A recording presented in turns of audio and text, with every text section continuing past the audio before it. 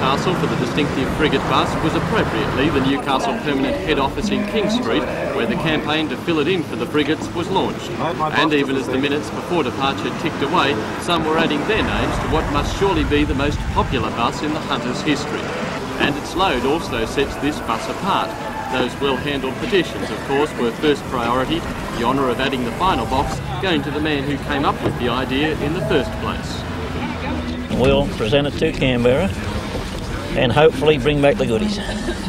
The delegation accompanying the frigate bus to Canberra plans to set up a display in Parliament House presenting visiting politicians with a vision of Newcastle after an AWS win. And to encourage the decision makers to stop and ponder the presentation, genuine Hunter Valley refreshments will be on hand. You couldn't be accused of trying to buy support down there, could you? No, just to give them a, a drink and give them good hunter hospitality. The final signature tally is in excess of 180,000, and Canberra delegates were this morning singing the praises of those who included their names in the total. They've pulled their weight, they got in behind the team, and uh, most of us are now feeling very good and very confident. We're absolutely delighted. It's more than we'd ever expected to have achieved. Um, we think Newcastle and the Hunter and the Manning have um, done us proud. After last minute photos to record the moment, the doors finally closed on the frigate campaign in the Hunter. The contingent travelling to Parliament House includes a number of advertising consultants who will be working to create the maximum effect when the buses reach Canberra. Ross Hampton, NBN News.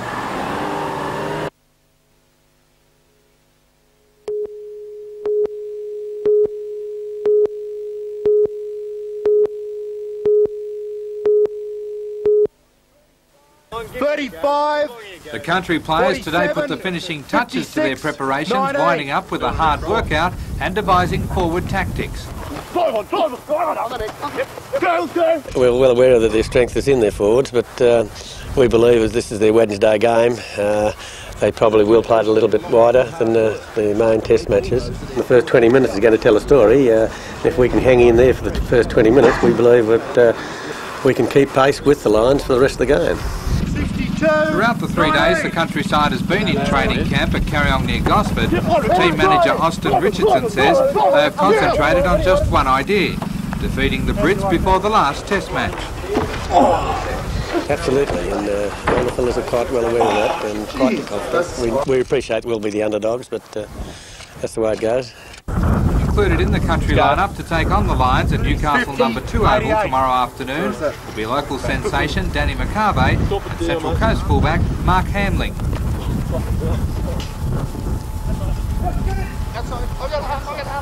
Inside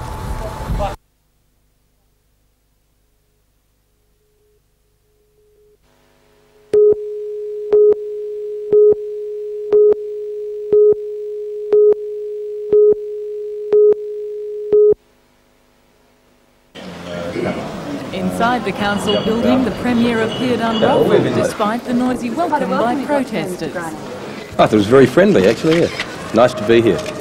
And his direct response to the protesters. Oh, I have no idea what the protest meeting said or did. I'm not really very interested. But the Premier did meet with a union delegation and says there will be an announcement on Thursday regarding improved benefits for injured workers. He stands firm on plans for State Rail and Elcom. Nobody in their right mind could support a continuation uh, of the sort of situation of a State Rail Authority, the Electricity Commission. Those organisations are losing hundreds of millions of dollars which the taxpayers of New South Wales have to pay. During today's Cabinet meeting, the first for Lake Macquarie, that council presented a submission detailing 11 concerns, including road funding. The government announced it will spend $3.5 million upgrading Cardiff Road between Glendale and Barnsley to have it fully reconstructed by the time the freeway is extended to George Booth Drive in 1993 council will also get almost half a million dollars of $36 million to be allocated from 3 cents a litre fuel tax revenue. It'll be the biggest improvement and sustained improvement in road construction both at a council level and at a RTA level that there's been in the history of the Hunter.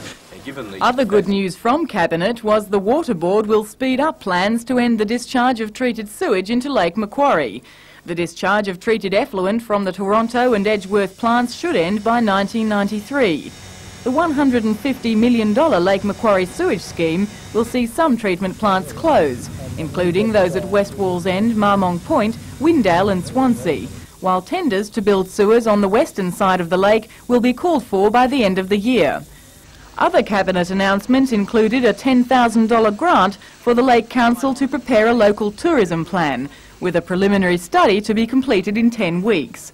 Cabinet also agreed to discuss plans for Green Point for resolution within six months and the provision of state rail land at Glendale to develop a town centre, possibly to include an administration base. We've indicated specifically for the first time that we're prepared to uh, sell the council the land for a civic administration centre um, at what would amount to a less than market price because of the use as a civic centre um, and that we would be happy to talk about uh, resolution of Green Point. Um, we're not in a position to simply hand it over uh, uh, as an absolute event. But Cabinet today also considered the state's gazumping laws, with legislation to be introduced in Parliament in September. Uh, Cabinet accepted a, um, a, range of proposals which would uh, eliminate preliminary agreements, would restore options, would uh, create what amounts to an optional uh, cooling off period of five days, uh, would improve vendor disclosure so the information available at the time of a purchase of vendor getting together would be substantially improved. And we think the package taken as a whole uh, will substantially eliminate uh, the problem.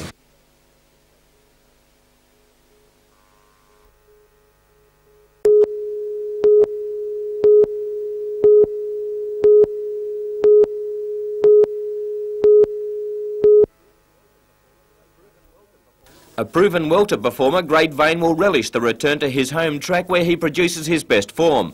Gary Harley suggests that you link Great Vane with Dusty Sound and Hunter for the trifecta at Randwick, and for the daily double, try Oakwood in the first leg and Great Vane in the second.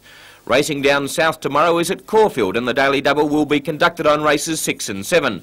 And Gary's tips are Lucky Poppy and Surrealism. And for the trifecta, 1, 2 and 3, Surrealism to beat Demon Fever and Good God.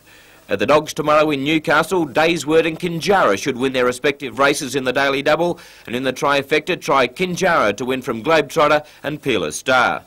Trotting on Saturday night is at Cessnock, and Gary feels that Dicey Dealer and Scorn Lee should win the legs of the Daily Double, and Dicey Dealer, Casey Mountain and Gladius to fill the placings in the trifecta. Hope you win a Mozza.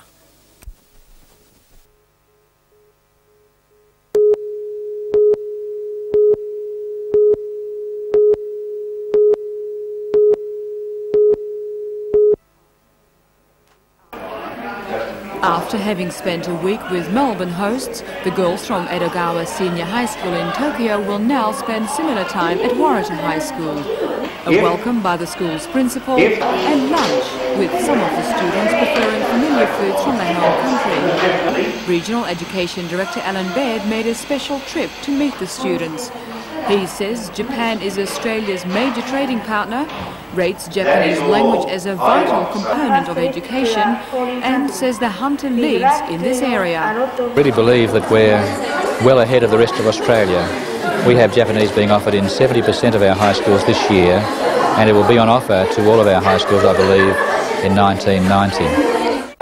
He sees this group as representative of future trends. The Japanese want to learn more about Australia the Australians want to do the same about Japan. We can't guarantee something special for every student that studies Japanese, but it's important for Australia that we have as many as possible studying it so that those who eventually will need it have had that opportunity.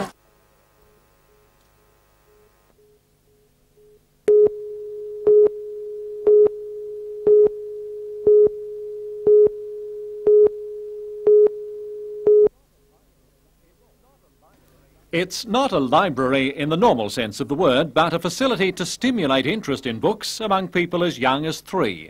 It was relaunched today, housed in a new $40,000 custom-built caravan. The Bookaburra tours outlying areas controlled by the Lake City Council, staying for up to a week at a time, with the youngsters treated to a variety of experiences. Library department staff get involved with puppetry and singing and all the normal library services like tapes, books and videos. City librarian Veronica Lunn is keen to see libraries deinstitutionalised, uh, and up to 2,000 children each year take advantage of the offer. And the objective is that the child who comes to the Bookaburra, if that's their first experience with a uh, staff member of the library or with uh, a static library point, that that is a fun experience. While at the same time trying to reinforce that concept of the library as a place where a child can have their informational or recreational needs met.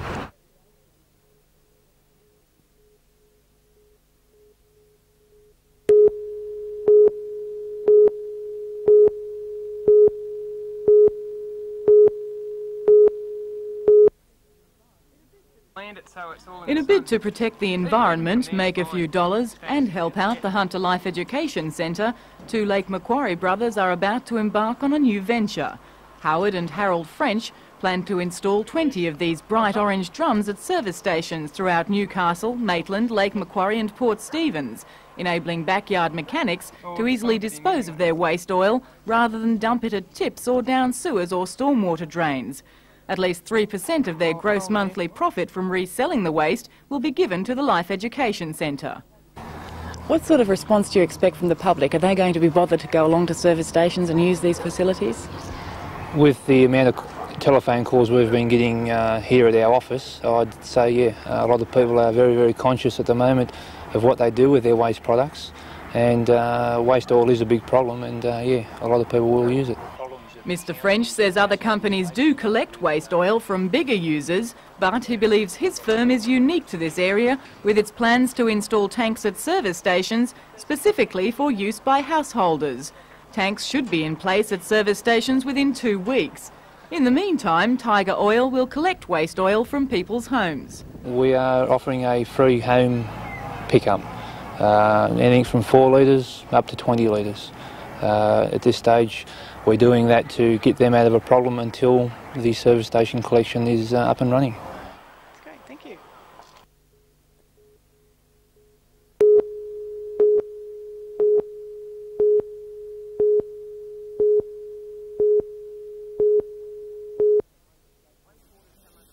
If one sport has come under the microscope more than any other, it's weightlifting. And today, the New South Wales Drug-Free Powerlifting Championships were held at the University Gymnasium. With drug testing carried out at the titles, all entrants stressed that this was an event that was truly drug-free. And the lifts matched the dedication to training the natural way. Joy Dobson, a silver medalist at the World Drug-Free Powerlifting Championships, set an Australian record with a lift of 152.5 kilograms. Joy also recently set a world deadlift record of 192 kgs. And Max Bristow set a new national record in the over 45 division, lifting 190 kilograms in the squat.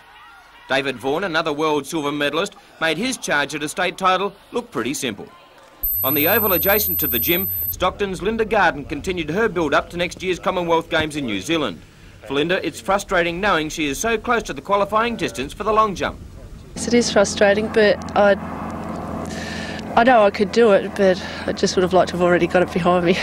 So what's coming With the Australian Institute of Sport satellite meetings in Adelaide and Melbourne, plus inter-club meets in October, there is still plenty of time for the mum of three to qualify. But the real test will come at the selection trials in December. At the trials, uh, first, second or third pass the post go, so that's it. After that, it's no more chances.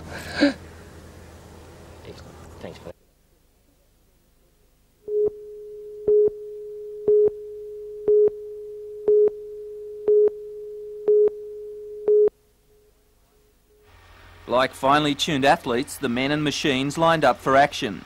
Using two furrow mouldboard ploughs, each contestant has to dig a quarter of a hectare of ground in three hours. Judges mark the ploughman for evenness of furrows, burying of stubble, creation of potential seed beds and general appearance. Seven of the men will be selected for the New South Wales team to compete in the Nationals, and from that, the best will go on to the World Championships in Holland next year.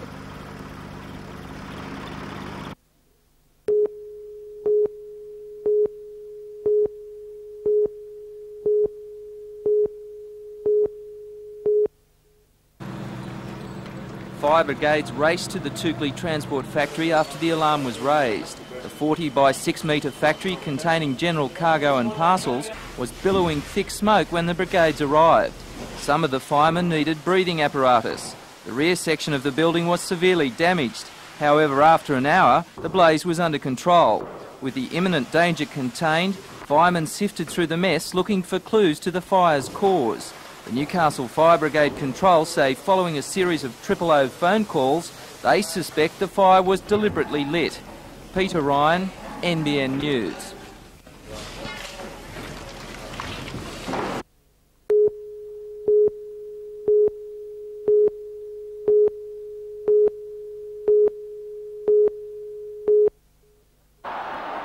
The popularity of the Newcastle Knights Rugby League team is now second to none in the Winfield Cup, an incredible achievement for this young club who is only in its second year in the big time. And it's not only at home that you are getting the big crowds, the fanatical followers will travel almost anywhere to watch their boys go round. Last Sunday it was to Arana Park in Campbelltown to play the Western Suburbs Magpies. And what better way to go than by train?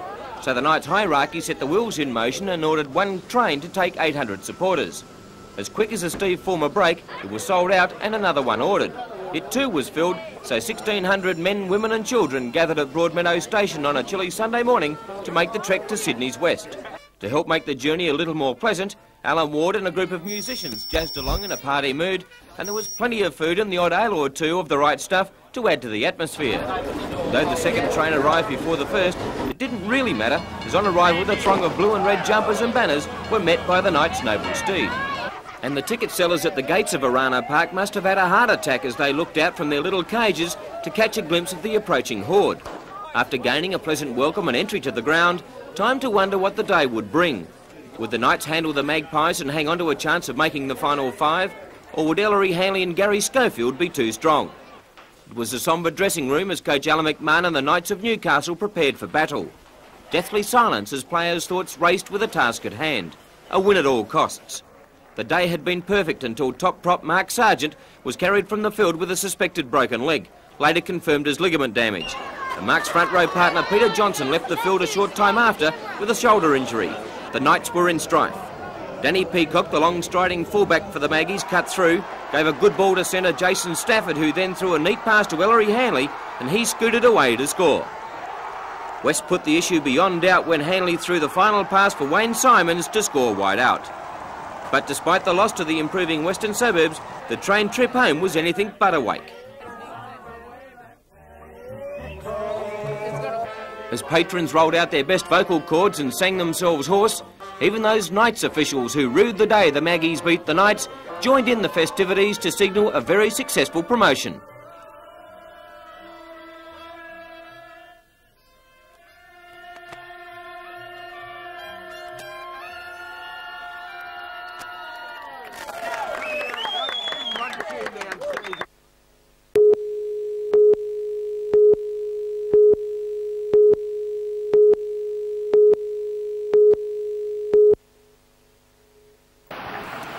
Residents were warned off the street and neighbourhood traffic was stopped in the small Doyalson community as heavily armed SWAT officers searched the area for two bank robbers, at least one of whom was thought to be armed.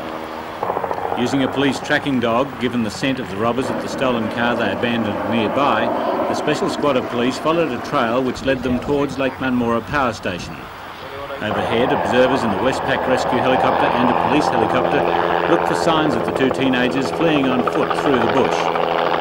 The ship began shortly after midday. The two robbers, aged about 16 and 19, staged an armed hold-up at the Budgewoi branch of the Westpac Bank, escaping with a large sum of money.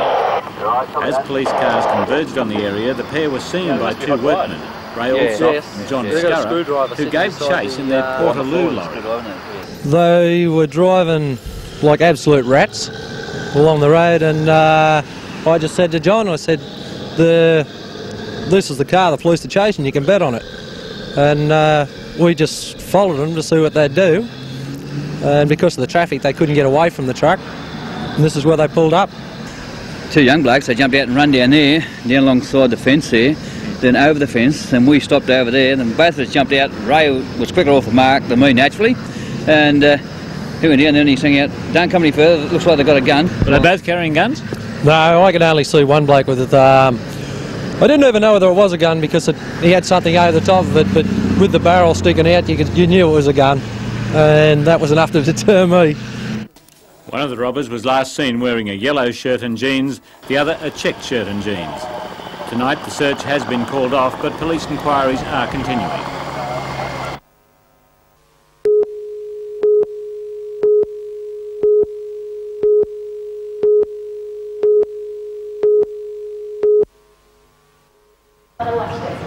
Carmen has made a habit in the past four years of winning crown upon crown. She is the current Pan Pacific champion in the Open and Age division, two titles she has held since 1985. This year, Carm will be competing in the Open and 15 to 17 age division and is the raging favourite to win once again. Under the watchful eye of former national gymnastics coach Keith Giddy, Carm went through a series of round-offs, whip-backs, backflips and twists at training this afternoon. A demanding sport that puts tremendous pressure on the ankle and knee joints, it's been recognised by the International Olympic Committee, but won't be a part of the 1992 Games in Barcelona. Carm is not worried at this stage of her career that tumbling is not in the big time. She has her sights set on defending her titles. And with form such as yep. this, Carm's in with a big show of doing just that.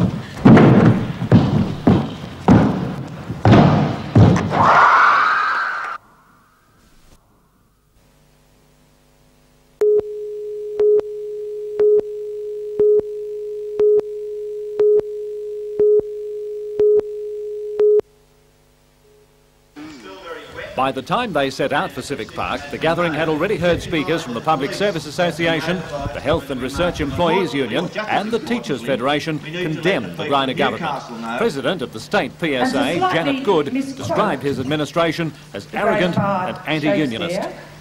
I'd suggest to you we're here to bury Grinder, not to praise him.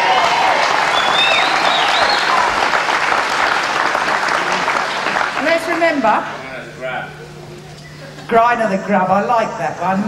Um... While the insults kept flowing and the protesters left the Workers' Club for a march to Civic Park, other workers were doing their best to cause as little disruption to the public as possible. Buses and trains kept running, but fares weren't collected.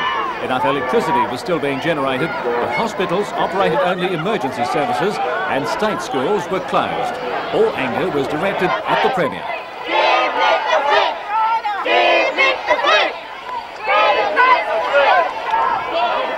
Milder break in the weather enabled a brief rally to take place in the park, where speakers from the crowd expressed anger over the 28,000 jobs to go and the cutbacks to workers' compensation. Today's protest was described as the beginning of a campaign to get rid of the Greiner administration. Just before more rain set in, the trade union choir rounded off the rally with a chorus of Solidarity Forever.